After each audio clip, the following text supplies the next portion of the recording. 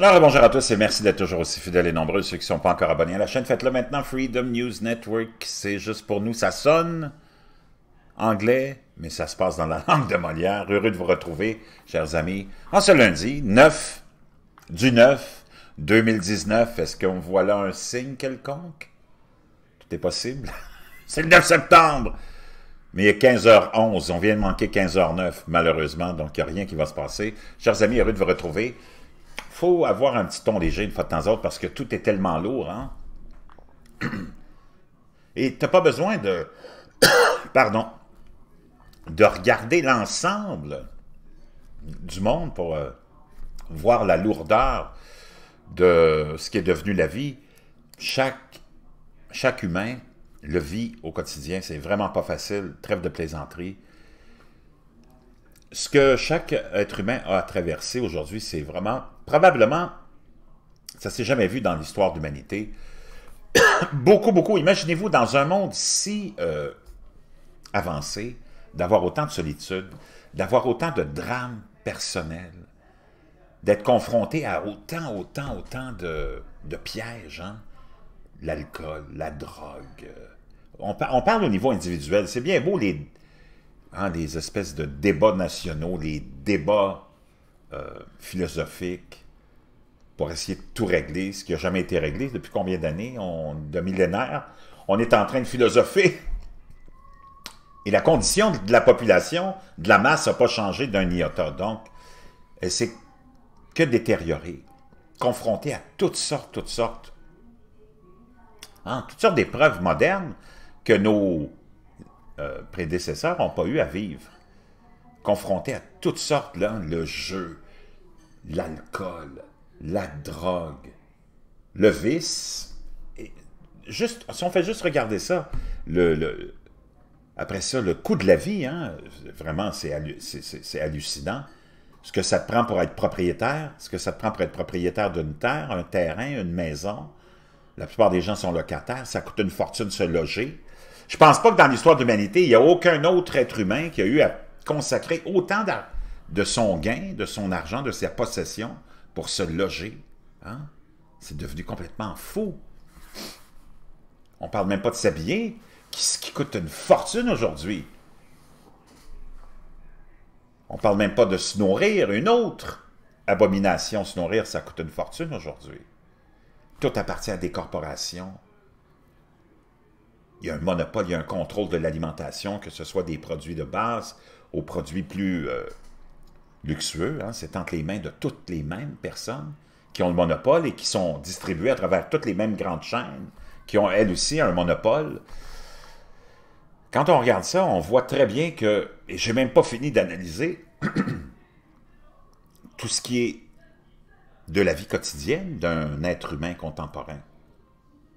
C'est hallucinant. Je ne veux pas déprimer qui que ce soit, mais c'est vraiment unique. Ça, c'est sans compter toutes les autres épreuves que tu auras dans ta journée. Le gouvernement qui va venir te prendre une grande partie de ton gagne-pain pour le redistribuer à qui? Pas aux plus pauvres, aux plus riches. Donner des miettes aux plus pauvres. Et toutes les autres épreuves que tu auras pour te transporter, ça t'aura coûté jamais aussi cher que ça te le coûte en ce moment, et ça va te coûter de plus en plus cher. Naturellement, il y a des côtés positifs à tout ça, cette modernité. Tu peux aller en Europe, tu peux aller en Afrique, tu peux voyager d'un point à l'autre rapidement. Je ne sais pas ce que ça change dans la vie des gens, mais en tout cas, c'est là. La science, on dit qu'elle a avancé, mais le cancer est le... Le cancer est devenu le... Imaginez-vous, dans nos pays riches, hein, la première cause de décès, la quantité de maladies mentales qui se développent, la quantité d'avortements, l'autre jour, je vous ai donné des chiffres. C'est combien? C'est 50 millions d'avortements par année au moins. On est confronté à des vies ruinées par la drogue. Il y a beaucoup, de, plus de vies qui sont ruinées par la drogue que par toutes les guerres confondues. C'est hallucinant la quantité de gens, de jeunes qui tombent dans les, filets de la drogue, des filets de l'alcoolisme et d'autres. Donc, beaucoup, beaucoup, beaucoup. Hein, la famille est détruite dans nos pays. La société est en train de se défaire. Il n'y a plus de point de repère. Le climat vient s'en mêler. On a des changements climatiques euh, historiques. La pollution est un autre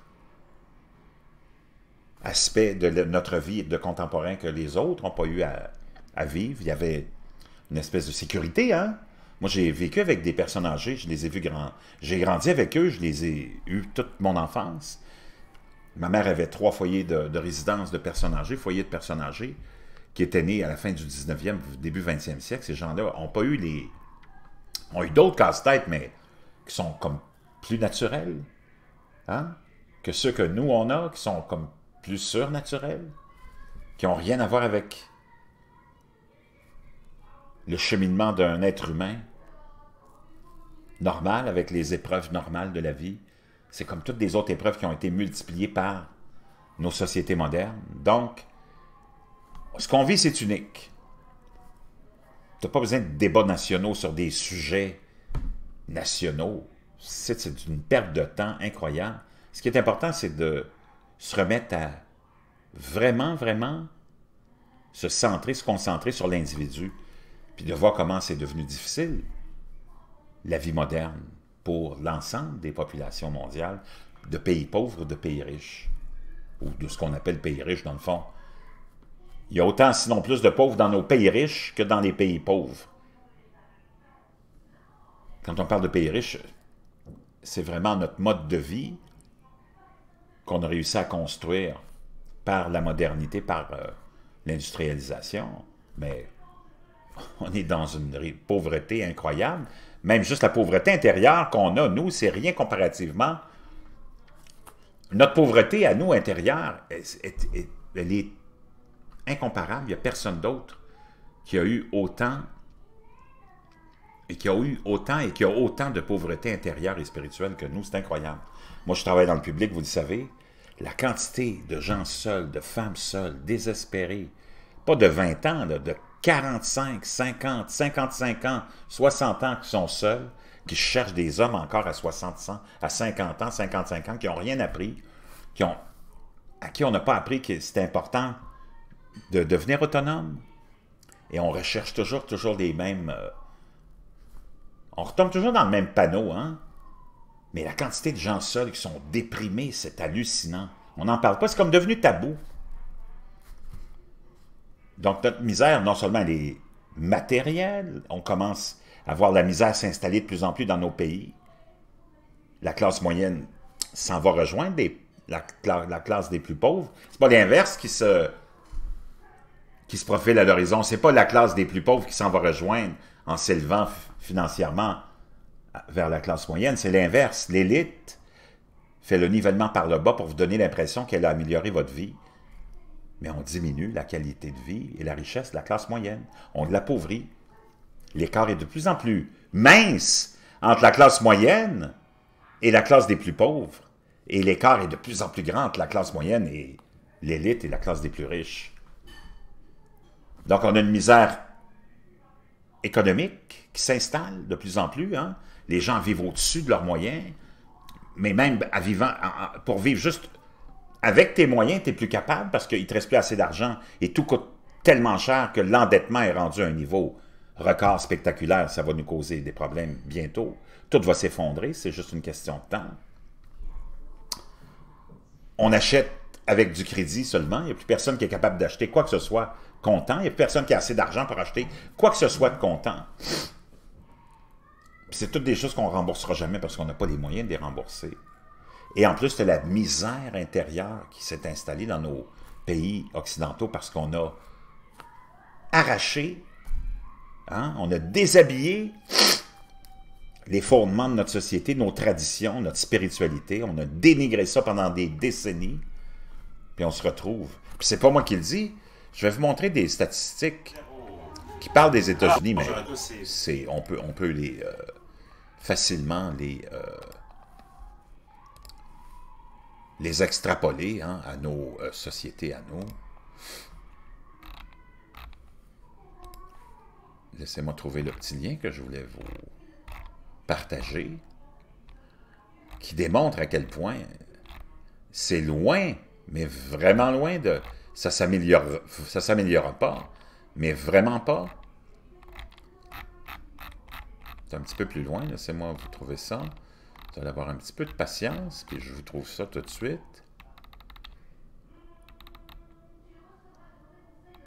Donc, on a cette misère hein, euh, financière, mais là, on va se retrouver aussi, et de plus en plus, avec une misère spirituelle. Celle-là est, est encore plus difficile à surmonter parce que il n'y a pas de... Il n'y a rien de matériel qui peut t'aider. L'argent ne peut pas t'aider à surmonter la misère. La misère intérieure, la misère spirituelle. Le vide.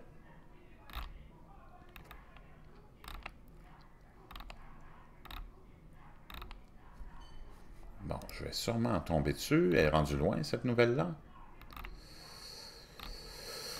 Mhm. Donc, je ne sais pas comment ça va, tout ça se terminer, mais c'est certain qu'il y aura beaucoup, beaucoup de gens qui vont tomber et qui continuent à tomber, et on n'en parle pas beaucoup de ça, hein, en dépression. La dépression est vraiment, vraiment, euh, probablement une des, euh, une des, un des aspects les plus négatifs de notre société. En tout cas, le lien que je voulais vous nous montrait à quel point aux États-Unis, ceux qui sont athées sont en croissance depuis des décennies, sont presque rendus majoritaires, ceux qui n'ont plus aucune croyance, aucun, aucune spiritualité. Donc, c'est certain que c'est quelque chose qui va venir avoir un impact dans la vie des gens de tous les jours. Devrais là, il était là tout à l'heure, ce lien-là, je ne suis plus capable de vous le trouver. C'était vraiment intéressant. Je ne sais pas ce qui est arrivé. Ils l'ont enlevé peut-être parce que c'était trop intéressant ou c'est moi qui n'ai pas capable de le retrouver. On va faire un dernier essai.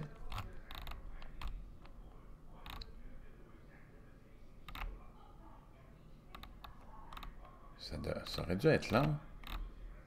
Sinon, je vais utiliser un autre moyen pour le trouver.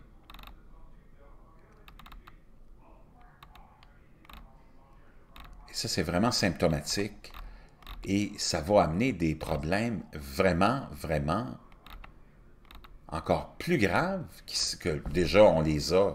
Et les problèmes sont vraiment euh, très, très graves en ce moment. Les problèmes individuels, les problèmes personnels des gens, face à tout ce que je vous ai énuméré, hein, la drogue, l'alcool, euh, moins qu'il soit dans un autre site, attendez, peut-être ici.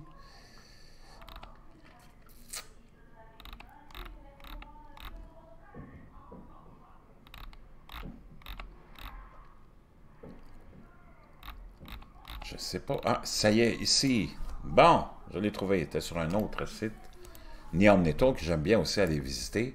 Le nombre d'Américains sans appartenance religieuse est en hausse selon un sondage. Un sondage révèle que 23 des Américains ont complètement abandonné leur religion. C'est beaucoup parce que les Américains ont toujours été, et de tradition, très euh, proches de leur croyance et de leur foi. Ces chiffres représentent une augmentation spectaculaire par rapport à 2007, où seulement 16 des Américains déclaraient n'avoir aucune appartenance religieuse. Donc, c'est certain que ça fait beaucoup de monde. Hein. Ça, c'est, on peut, on peut l'extrapoler, comme je vous dis, pour euh, nos, euh, nos euh, sociétés à nous, nos pays à nous respectifs. Donc, c'est vraiment très... c'est symptomatique et ça illustre très bien ce qui se passe en ce moment. Donc, il faut se remettre à... Faudrait remettre le citoyen hein, au cœur de nos préoccupations. L'élite nous a habitués à un spectacle de distraction, surtout depuis euh, la présidence de Donald Trump, à beaucoup de distractions. Et on en vient à oublier la vraie misère aux États-Unis. La misère est rampante, la misère est partout, la misère économique est partout. la misère psychologique, mentale, individuelle est partout. En France, c'est pareil. Au Québec, moi, je le vois tous les jours quand je travaille. Les gens sont, il y en a beaucoup qui sont seuls, désespérés. Les gens, on est dans un monde tellement ouvert qu'on est on, est, on en est devenu complètement isolé. Tout le monde est isolé. Il n'y a personne qui se côtoie, il n'y a personne qui se parle. Je ne sais pas comment ça va finir, mais c'est certain que c'est comme tout le reste. Ça va finir de façon très, très dramatique. Donc, je voulais juste apporter ce petit coup d'œil au fait que oui, c'est beau les questions internationales, nationales, mais avec tout ça, on en a oublié l'individu. Et, pardon, pardon, c'est des allergies, l'individu est en chute libre, est abandonné par tout le monde. J'ai peur de voir comment ça va se terminer.